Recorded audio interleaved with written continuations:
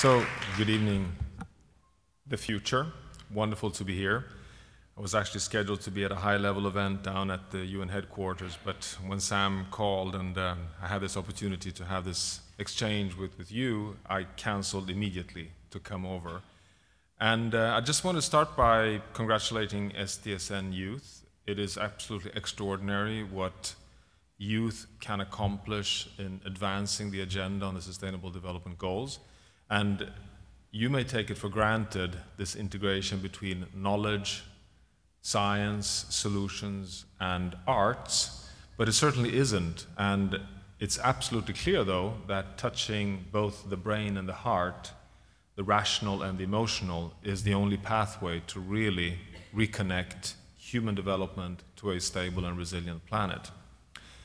But I won't be dwelling on that. What I'd like to do with you is actually um, share with you just some very personal testimonies on what we're facing.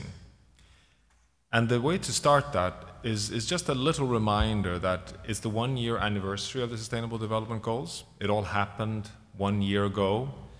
You were probably many of you here.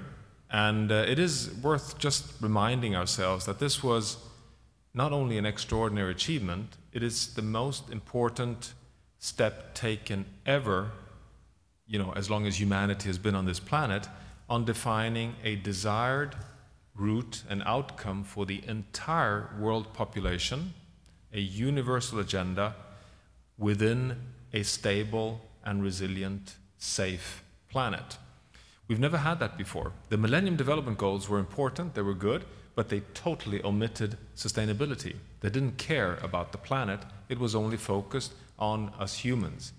Here, for the first time, we now have an agenda which tells us very clearly that we're going to reach very aspirational goals eradicating hunger, eradicating poverty, having good equity, good gender balance, good education, good lives, good economic development for every citizen on this planet within planetary boundaries.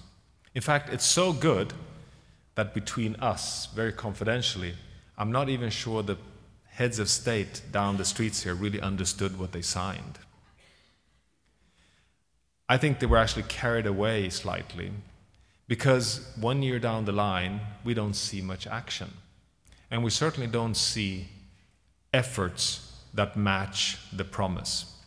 Because the promise is really extraordinary. For the first time, we have heads of state in 196 nations that recognize that we're now facing potentially disastrous risks if we continue unsustainable development, and that the only pathway to truly deliver good prosperity for all of us is through a sustainable development path. And that this applies not only for climate change, but it applies for the oceans, it applies for biodiversity, and it applies for fresh water. And this is so extraordinary and such an achievement that many of us were in Central Park dancing to Beyonce the night after we signed because it was a real step change. It was a tipping point for the world. So I think that is something to remember that what happened in 2015, I can assure you that in 15 years' time, we'll be looking back at what happened in 2015 as the potentially the most extraordinary achievement that the United Nations has ever accomplished. These are strong words, but remember that the open working group and the consultations that led up to the SDGs, which actually were held over three years, is the largest ever open consultation ever held by the United Nations. You know, the Rio Plus 20 was in 2012. The SDGs were signed after a General Assembly process of consultations over three years. So this is a robust and never ever seen before agenda. But you see, the dilemma is, and, and, and this little joke that they might not even understand what they signed, is because what it means. Because if you look at the numbers, it actually means the following it means that we have now agreed that we're going to, once and for all, secure food for 9 billion people. We're 7 today, just in 30 years' time. So this is beyond the 2030, but it's promise we've made that every human being should have good food. We're going to do this within a safe climate system, which should stay as far below as we ever can of the two degree limit and aiming for one and a half degrees Celsius because the SDGs have integrated the Paris Agreement. And what does all this mean? Well, it means, believe it or not, that in just four years' time, we need to peak the emissions of greenhouse gases in four years' time, which is like tomorrow. And then we're supposed to rush in a pace that is unprecedented, 6 to 8% per year in reduction in emissions, to reach a fossil fuel free world economy by 2050. 2050 is in 34 years. 34 years. And you see, that journey is much more rapid than when we entered the industrial era in the late 18th century. It's actually a revolution. It's an industrial revolution of a scale that we've never seen before. And I can assure you that it's exactly the same curve for freshwater. It's the same curve for protecting a biodiversity. It's the same curve if we're going to save the oceans. It's the same curve if we're serious about air quality. And it's the same curve if we're going to get rid of microplastics and chemicals. So we're in for a transformation. We're in for the most dramatic journey that humans has ever experienced on planet Earth. And it should have started yesterday. Have you seen a roller coaster taking off so far? No, I have certainly not. So you see, we are at this very painful juncture where, on the one hand, we, for the first time, have a roadmap for a desired future for humanity on planet Earth, but on the other hand, we're not seeing the action happen yet. And this is where my testimony to you comes in. And, and this is a, you know, a quite painful testimony to make, to be honest, which is that you may be so aware that the way we normally plan the future is based on experience in the past. That's why um, professors like myself have a kind of a raison d'etre, you know? We have long experience, we know what's happened in the past, so that is what we use as a basis for our thinking in the future. So we look at what happened 10 years back, 20 years back, 30 years back, even 100 years back, to think through how fast can we, for example, decarbonize energy systems? How fast can we embark on completely new transport systems? How fast can we start truly transforming agriculture so we stop destroying biodiversity and losing fresh water? And we kind of build that basically on linear projections on what we have seen over the past years and decades and you rely on uh, senior people like myself and others. My little confidential message to you is I think that will not work. I think we've come to a dead end on relying on history. I think now we have so much evidence that humanity has reached such a critical point. In fact, we are at a crisis juncture which is so serious. I mean, just remember again, the only chance for us to stay under 2 degrees Celsius is to have a fossil fuel free world economy in 34 years. You know, it's such a dramatic journey that we don't even know how to do it. But it is a necessity because if we fail, then we enter the domain of irreversible, abrupt, catastrophic change. I mean, just as a reminder, the last time we were at 2 degrees Celsius is 130,000 years back, and then we had over 6 meters sea level rise. We would, dear friends, sit in water right in the Lerner Hall. So it's a very, very special situation. And my conclusion is, which is the message I'm so keen on sharing with you, is that because I don't think we can rely on history anymore, because I think that car industry and food industry and technology industry is still operating on projections into the future, which is one reason why we're moving so slowly.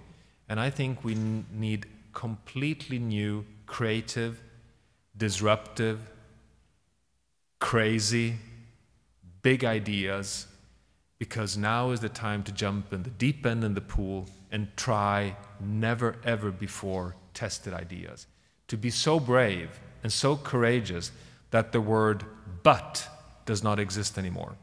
You know, we seniors are very good at saying, well, but, you know, we've tested that before. But, you know, it will be too expensive. But, you know, in the end, we cannot scale it. But, you know, it takes too long time.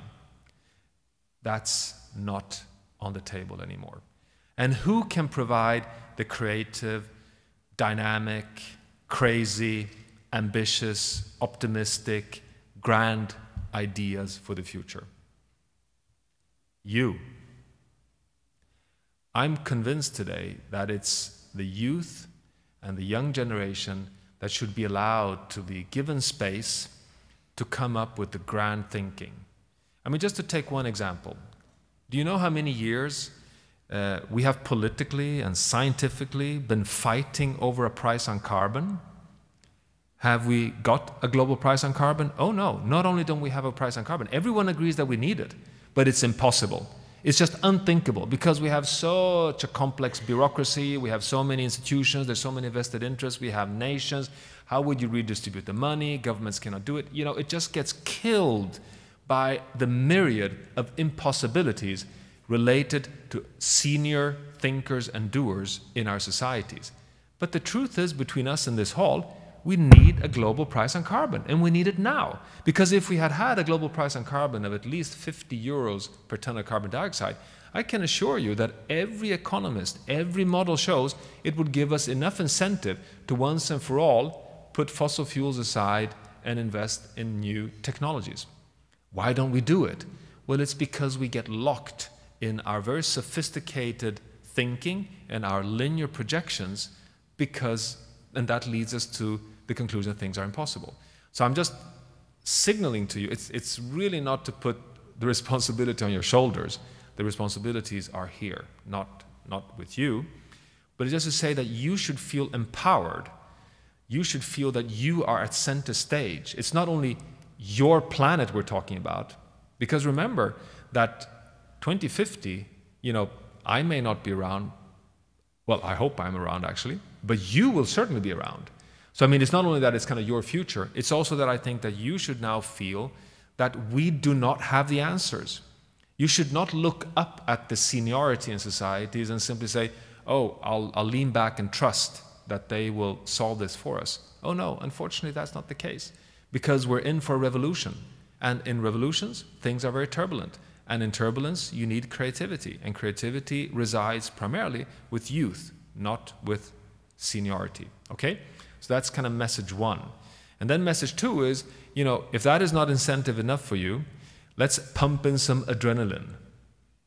Because it is so that you have reason to be angry. You have reason to be very disappointed.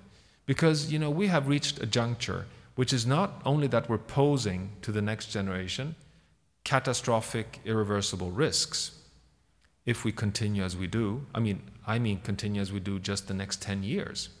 But there's another reason for double frustration, which is that today we've reached a point where the solutions are available. It's not utopia any longer. It's not science fiction. It's not even sacrifice. In fact, think of it the sustainable, decarbonized future is the high tech, desired frontier of the most healthy, the most attractive, the most digitally advanced. It's a Tesla future we're talking about. And still, we elders are selling to you that we love coal mines. Who loves a coal mine? You see, so this is another reason to be quite frustrated at, at the situation we're in. And we are here because we again are so stuck in our old vested interests and we're so stuck in our incremental thinking. And of course, and to close, it's not to load, you know, the kind of agenda of creativity and solutions on your shoulders.